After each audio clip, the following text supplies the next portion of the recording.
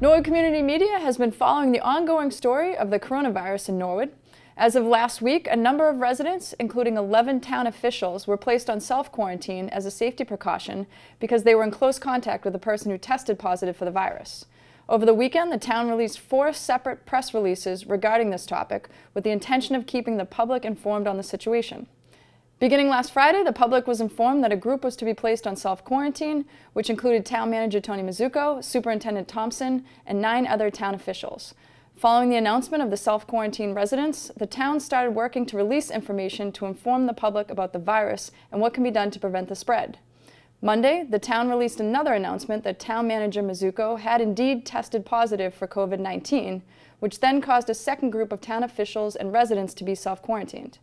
Those names will not be released because of federal health and privacy regulations.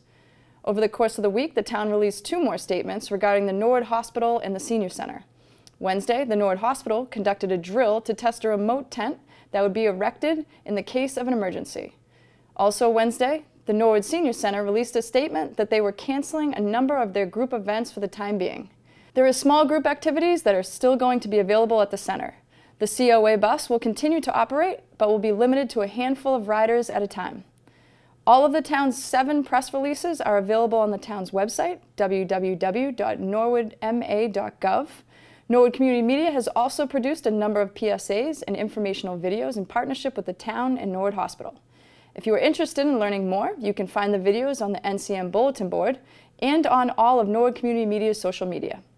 Norwood News will continue to follow this story as it develops.